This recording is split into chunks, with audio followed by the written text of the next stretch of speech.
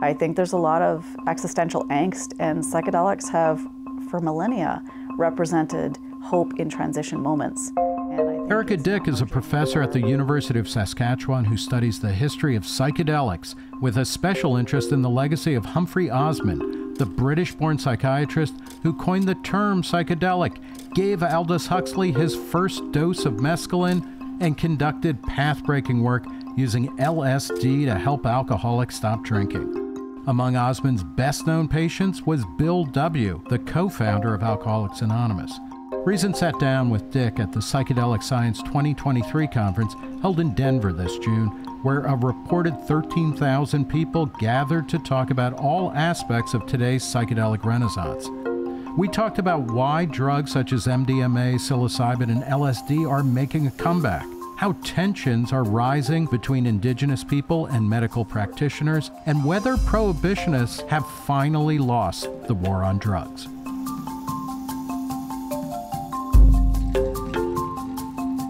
Um, what does the psychedelic renaissance mean to you? I'm a historian who's been studying the psychedelics for over 20 years. And so the psychedelic renaissance is actually kind of a confusing term because it's quite new, and yet it invokes this sort of deep history and this really deep cultural transformation. And uh, as a historian, I guess I'm a little bit nervous about that as to whether or not we've really reached that point where we can call this a renaissance moment. But I'm also really curious about what it means in terms of what we're trying to revive and what we're trying to resurrect from the past that might be worthwhile in terms of sort of charting a psychedelic future. Mm. And I think there's rich opportunity to think about some of the different ways that psychedelics and psychedelic thinking has really come to bear meaning in this historical moment. Well, let's talk about the, you know, LSD was synthesized in 1938. Uh, you know, started getting used about 60 years ago, right? 43, whatever. I'm, I'm, an English major. yeah, know, right? yeah. Um, uh, you know, but then in the 50s and 60s, there was this first moment where psychedelics were being used in a wide variety of contexts for a wide variety of reasons. What are the lessons that we should be learning from that moment? Yeah, this kind of awakening moment when the word psychedelic is first coined and kind of coalesces around a variety, a variety of medical experimentation is this awakening moment, I think, mm. for psychedelics in the 20th century. And yet, there were lots of challenges in that moment prior to the kind of countercultural uptake mm-hmm. of these substances as well. Challenges in how to measure experience, mm-hmm. whose experiences matter, who should we draw those experiences from, whether it's indigenous communities or midwives or even spiritualists and people working on paranormal questions with respect to psychedelics. And I think we haven't really answered that question. And then as psychedelics moved underground, those questions lay dormant. And there's a tendency, I think, to kind of push against the past and suggest that, you know, now we're doing it anew hmm. or in a fresh way. But I like the concept of Renaissance that also reminds us to think about what we missed in the hmm. past and maybe resurrecting some of those pieces. So I think that kind of wild landscape for experimentation of the 1950s is something we should embrace here again. Can you talk about Humphry Osmond, who's the guy who coined the term psychedelic? Um, you know, skipped around the globe, ended up in Canada where he was doing a lot of this work. Mm-hmm. What is his contribution or what is his role to the psychedelic, I guess, moment in the 50s? But then what should we be learning from him now?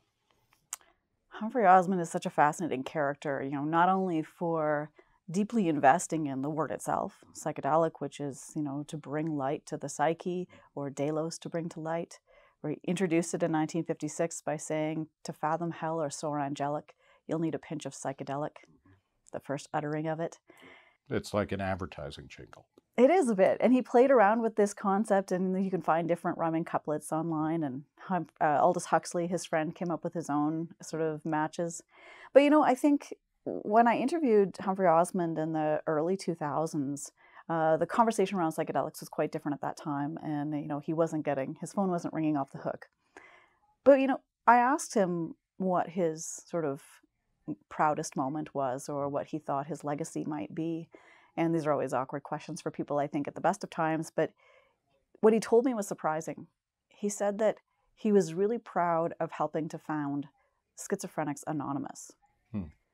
And I've been reflecting on that for some time and wondered whether this was because he didn't want to talk about psychedelics in that moment because they were considered taboo. But I actually think there's more to it. I think that for him, like his good friend Aldous Huxley, who wrote Doors of Perception, psychedelics really were a doorway. They were a tool and something he felt helped us to think differently about a whole variety of problems. For him, co founding Schizophrenics Anonymous was seeing some kind of dignity in what we today might call neurodiversity and finding peer groups and investing in communities that could think about that was an enduring legacy of psychedelics for him. I think there's something really powerful in reflecting on that and thinking about what psychedelics have to offer us today, whether it's simply getting them across a regulatory line so that they can become medicines, or whether by thinking with psychedelics, we might actually think differently about human behavior and neurodiversity and tolerance of all kinds. Um, yeah, expand a little bit on that. What do you, you know, what does it mean to, you know, use psychedelics? Is it a way to model different states of kind of normal human consciousness so that we, instead of saying, okay, there's here there are three ways of doing it right, now there's a hundred? Yeah, I think I, I mean, Osmond was criticized for investing in what he thought of as a model psychosis by mm. using mescaline and later LSD, and then later again and These were, uh, at the time, sometimes they were called psychotomimetics. Exactly. Yeah. So mimicking psychosis. Yeah. And, and he wrote about that quite extensively in the early 1950s, suggesting that, um, that staff should be taking psychotomimetics, that staff should be experiencing what he described as kind of an empathetic pathway or a way to empathize with their patients. And we got to remember that in the 1950s, throughout much of the Western world, patients with schizophrenia were in institutions. Right. And here he was, the superintendent of one of the largest institutions in Western Canada, with 4,000 patients and just over 2,000 beds. So he was dealing with this Herculean task of trying to reform psychiatry and for him, trying to understand those patients who he felt were difficult to connect with was a really huge insight. And so I think that connects with why he thinks this is part of the enduring legacy. Why do you think psychedelics are having such a moment right now? I think that there is a, a cultural searching for some kind of answers. And if we want to think about it in terms of mental health and wellness, um, we've seen a lot of investment in psychiatry, in psychopharmacology, in mental health, the mental health industry, if you will, and we have not seen a corresponding decline in the burden of mental health and disease around the world. Uh, they're actually running at you know at, at sort of crossroads. Yeah, well, think, can I ask? Do you think? I mean, is that kind of an iatrogenic effect where it's like, well, we have a lot more psychologists and a lot more mm. therapists, so they need work. I mean, are they creating make work projects for themselves, or is there an actual observable increase in mental illness? I think it's tempting to see this as an iatrogenic problem that the more psychiatrists we have, the more problems we have.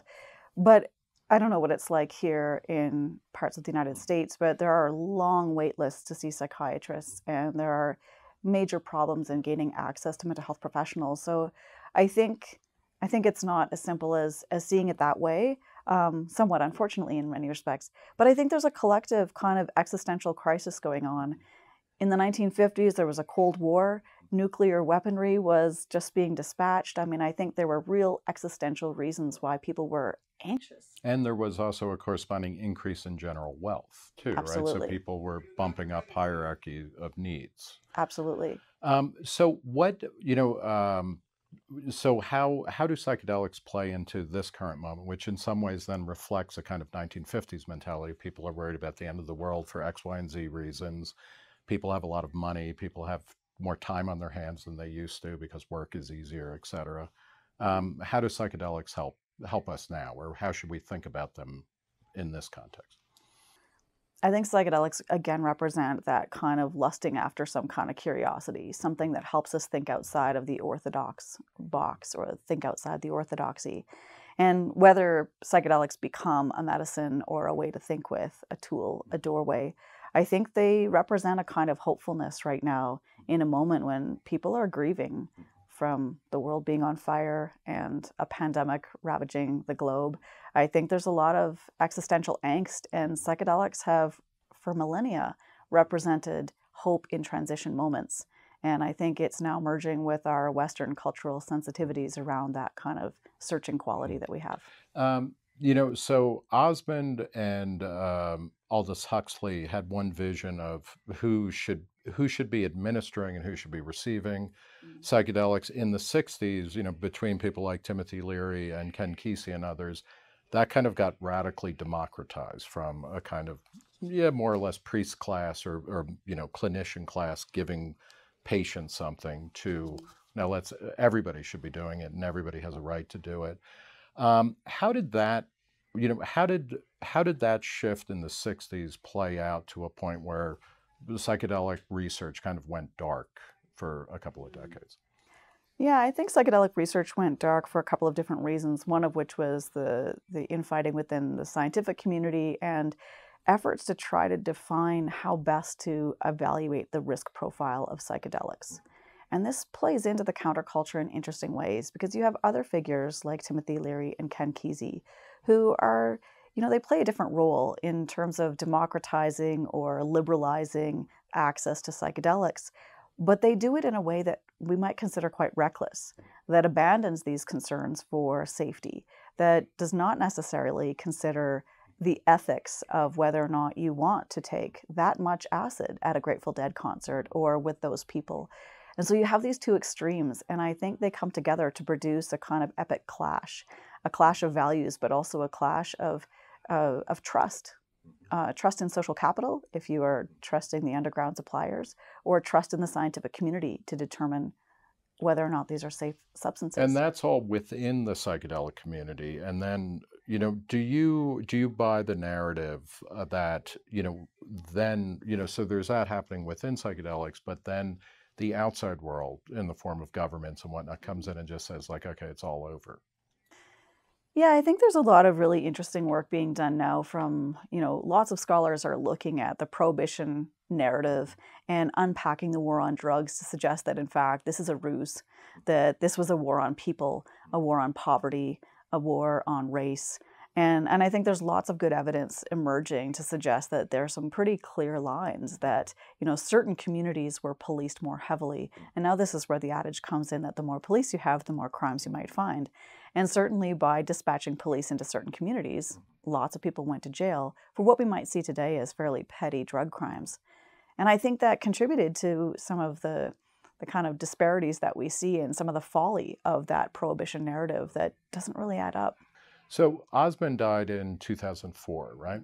Um, and you, you were talking about speaking with him, you know, right around that time, and psychedelics were still kind of held in, you know, low repute. Uh, you know, what has happened? What's changed so that they're now, you know, there's, you know, 10,000, 11,000 people at this conference. Mm-hmm. You know, there are movies and TV shows and best-selling books about psychedelics. Everybody's microdosing. You know, what, what, what happened? I think there's a couple of different things that have led to this upsurge in interest in psychedelics since its prohibition and kind of dying out already, you know, recognized in the 1980s and whatnot. And and I think one is the poking holes in the war on drugs. Uh, we've seen this a lot with cannabis reforms. We've seen a number of lobby efforts to try to pull back that curtain a little bit and change the script on what's dangerous and what's okay to take. We also have uh, a Western world, at least, that has been introduced to pharmacology in a dramatic way. Everybody has taken some kind of pharmaceutical. We have a different kind of drug literacy. And I think if Marshall McLuhan were here, he would have a lot to say about the global network that we live in with social media and the internet. Now, you and I can share our favorite stories or our favorite recipes for sharing information about psychedelics across time and space in a way that was unimaginable in the 1960s. And I think this has also created a kind of cultural upsurge of interest in psychedelics that can't be policed in the same ways. You are really sticking to the Canadians, aren't you? Invoking McLuhan. I did you like yeah, that? Yeah, I just planted I mean, that in there. I, I was like going to say something placement. about Wayne Gretzky, but I you hope, know. yeah, Wayne Mark Gretzky. Messier though claims that uh, mushrooms was really what made him oh, really? an excellent hockey player. I can talk okay. hockey if you need me to. Yeah, I don't know, but uh, you know, I don't know if I have a Steve been a long Nash time story. since you won a championship, so yeah, no, that's funny.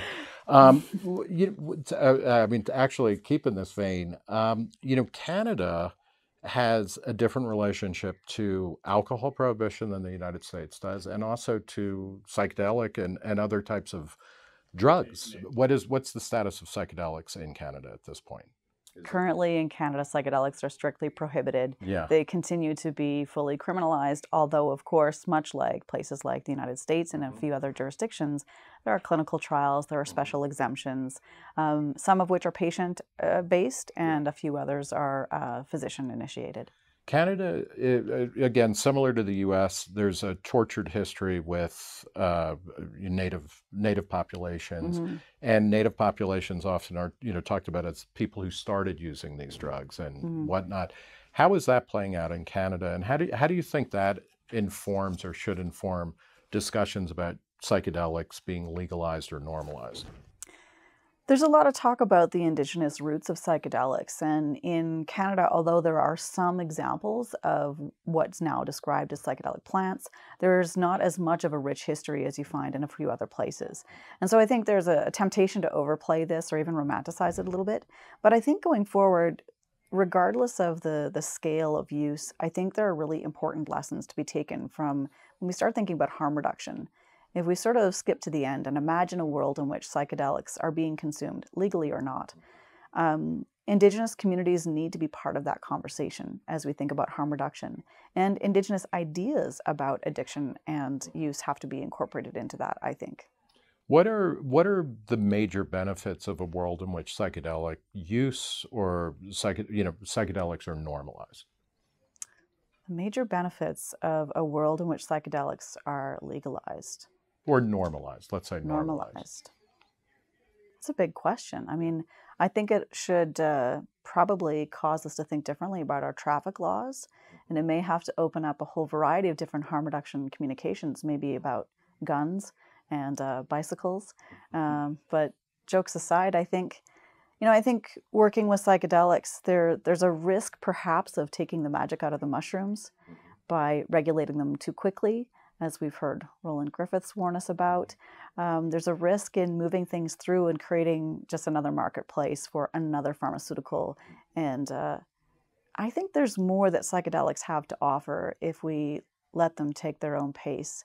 And if we think about the way that psychedelics might help us to imagine different possibilities when it comes to alleviating stress or welcoming neurodiversity. So, are you are, are you worried that uh, psychedelics are being too much put into a, a, kind of medical model or a therapeutic? You know that they're a therapeutic as opposed to something more expansive. I think that psychedelics have a lot to offer in the therapeutic context, but I think people are going to take psychedelics outside of that therapeutic context and there's a risk of destabilizing their regulation or keeping them sort of within that mainstream conversation uh, without harmonizing these two aspects from the beginning. What do you think are the major impediments to a, a world in which psychedelics are either normalized or legalized or just more widely used? I think some of the major impediments to legalizing or regularizing psychedelics, I, I think it's hard to know just yet.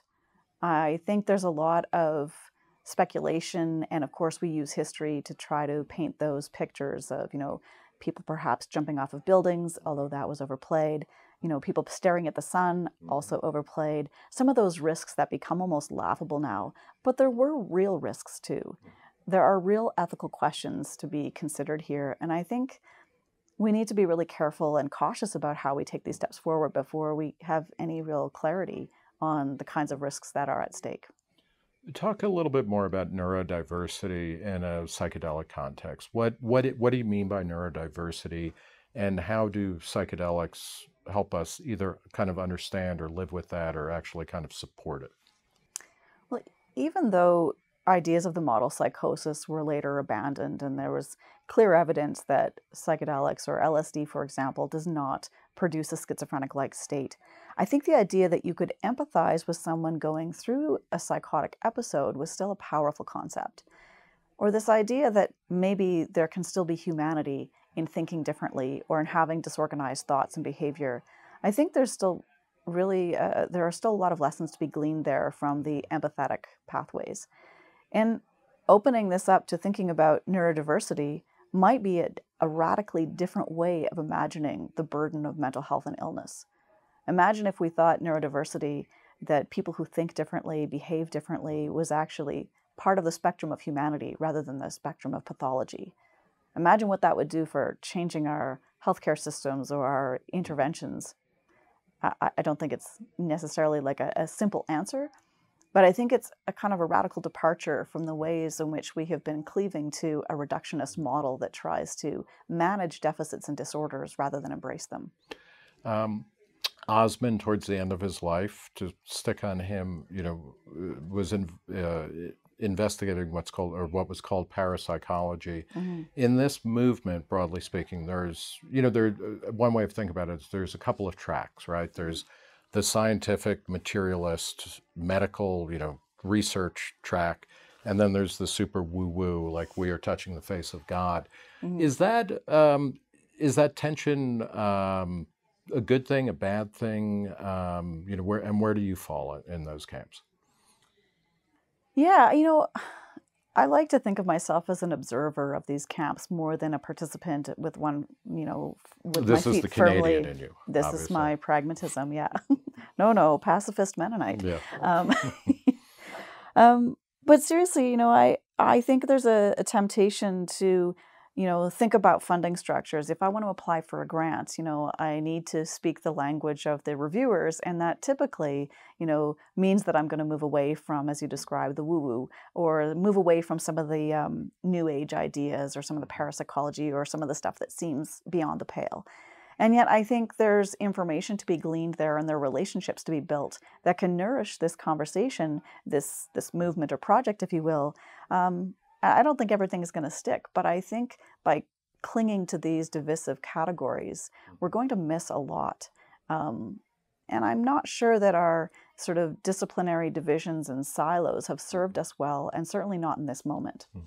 What, um, you know, one of the factors that kind of um, undermined just the use, or at least the interest in psychedelics in the late 60s, you mentioned, you know, people jumping off, you know, being taking LSD and supposedly jumping off the buildings. Diane Linkletter, mm-hmm. uh, you know, the the students from various universities who stared into the sun until they burned out their eyes and things like that. Is that kind of story, uh, however real or however kind of manufactured it is, is that the type of thing that would stop what we're seeing now with psychedelics, or what what do you think? would be the types of events that would shut down all of the movement towards psychedelics? I think it's interesting to imagine what kind of story it would take to stop psychedelics in its tracks right now. Mm-hmm. There are lots of stories, and we have greater access to news media than ever before in terms of pretty horrific things that have happened with or without psychedelics, and lots of times without psychedelics. So it's hard to imagine the 2023 version of staring at the sun, you know, or, you know, some some equivalent to that. I, I worry sometimes that psychedelics might go off the rails by collapsing our faith into particular individuals rather than seeing this as a more dynamic movement. Um, and I say that with some trepidation because I don't want to suggest that anybody has, you know, ultimate control. Um, but it does strike me as interesting that there are, you know, certain certain characters and certain um, individuals who are really sort of pushing this movement. And I think the movement is in need of more diversity at this point. Who who are those people? Like who are they? you want me to name names? you know, yeah, this is uh, you know it doubles as a congressional investigation. So Great. yeah, name names. Who well, I'm gonna I'm gonna back my way into that answer mm-hmm. by saying, you know, we we recognize certain leaders from the past, whether those are the Humphry Osmonds and Aldous right. Huxleys, who are described as somewhat elitist in some right. respects, or the Timothy Learys who let the genie out of the bottle, yeah. or the Ken Kesey who never had the genie in the bottle in the first right. place. When we fast forward to today, um, and I think there are some key interlocutor figures along the way as well. People like Laura Huxley, people like Stan Grof. Um, we might think of the Shulgins as, you know, really important players who kept the psychedelic dream alive in some respects and did the best they could in the context they were working in. And today we have real champions of psychedelics who've got very sort of loud voices in this conversation. It'll be interesting to see how history treats them. Yeah. Whether they are considered that's somebody objective. like a, uh, like a Michael, Michael Pollan would be one. I'd say Rick? Doblin. Rick Doblin, uh, yeah, Tim Michael Ferriss, Pollan, Tim Ferriss, Joe. Rogan. We have some loud voices that, uh, and I, you know, amplified voices, I should say, Yeah. not loud, but uh, voices with a lot of social capital in this field. Um, and some are to a greater and lesser degree held in check Right. by things like peer review or controlled trial analogy. And yet, the sort of social capital accumulating is um, is really interesting because it kind of moves into new territory. It's not the same as trying to measure the efficacy of psilocybin through a randomized controlled trial. You know, uh, Mike Tyson can Yeah. tell Joe Rogan what he thinks, and he influences more people than many of those scientific studies ever will. Um, let's talk uh, briefly about uh, Bill W. and the intersection of psychedelics or LSD in the late 50s and Alcoholics Anonymous. Um, what what is the lesson to be learned from that episode where Bill W., the founder, co-founder of AA, talked openly and publicly within the AA newsletters and whatnot about how I am taking LSD and it's really helping me Mhm. stay off of booze and just become more interesting. Um, what what happened with that, and what is the lesson to be drawn from that type of episode? I think Bill Wilson's legacy with respect to psychedelics and alcoholism is twofold. One is that despite being the last member, the last co founder, um, he broke the pledge of abstinence to try psychedelics and found it really helpful, particularly for overcoming difficult steps, for staying with the program. That's key, and I think, you know, helped to serve as a bit of a role model for trying this. But the other part was forging an association with an, uh, an avowed non medical intervention, provided the addiction studies, the LSD, or uh, sorry, the psychedelic addiction studies, with an incredibly important community partnership, a non medical partnership. This optimized people's results, they stuck with the therapy, and they stuck with the follow up. And that integration period cannot be under um, underemphasized. I think that partnership really helped to produce those outrageous results that we saw published, the 70 to 90% success rates. It wasn't just psychedelics, it was psychedelics and group therapy. Um, I guess to kind of go back to celebrities or whatnot, you know, around the same period, you know, there are the well-known stories of Cary Grant, uh, people like Esther Williams, these golden age of Hollywood movie stars who were, you know, I guess in their 50s at the time, suddenly raving about psychedelics. Is that analogous to what we see now when, you know, at this conference, Aaron Rodgers, the football player, the American football player, talk? uh, you know, is is it similar? Um, you know, and how important is that kind of activity in normalizing something that was a subculture? I think it's interesting to think about the context of celebrity endorsements in the 1950s. Uh, I'm not sure that they carried the same kind of gravitas that we can imagine today with the power of social media and the speed and the, the sort of the pace of information that flows today. But nonetheless, it's important that we, we know that Ethel Kennedy and Esther Williams and Cary Grant were treated, some of whom were treated in Canada at this place called Hollywood Hospital, uh, named for the hollyhock bushes, not for Hollywood, but it happened to be a connection. Um, CanCon. And uh, you played me. I was like, I gotta say it. Um, I'm not sure that it traveled as much, and and in some ways there are stories, particularly emanating from Hollywood Hospital and, and actually from a number of places along the Pacific Northwest, where some of the celebrities actually were a bit quiet about it until later. Um, perhaps I think as an attempt to retain the psychedelic status, but were quiet about it at first, in part because they didn't want to admit their alcoholism, or in some cases other underlying disorders that they felt would compromise their careers as film stars.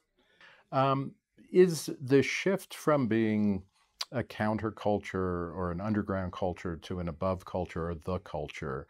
What are the big risks involved? Because it seems like psychedelics are coming, you know, they're they're coming up from underground and mm-hmm. they're everywhere. People are talking about them. Every, you know, every other candy bar has some kind of mushroom in it, you know, et cetera. Like, what, you know, what are what are the what are the risks and what are the benefits of that kind of shift? I'm really a bit suspicious or skeptical, I should say, about the kind of joining of underground and above ground information. And my impression so far is that those two are not really joining, but they're still a bit at odds with one another. That there's a kind of sanitized or above ground production of knowledge about psychedelics mm. that carries a different kind of weight than some of the underground work. And I think there's a risk in separating those in part because some of the underground work are done by populations who have been criminalized for a long time and who are not included in trials and whose evidence and experience is not necessarily forming part of the standard narrative.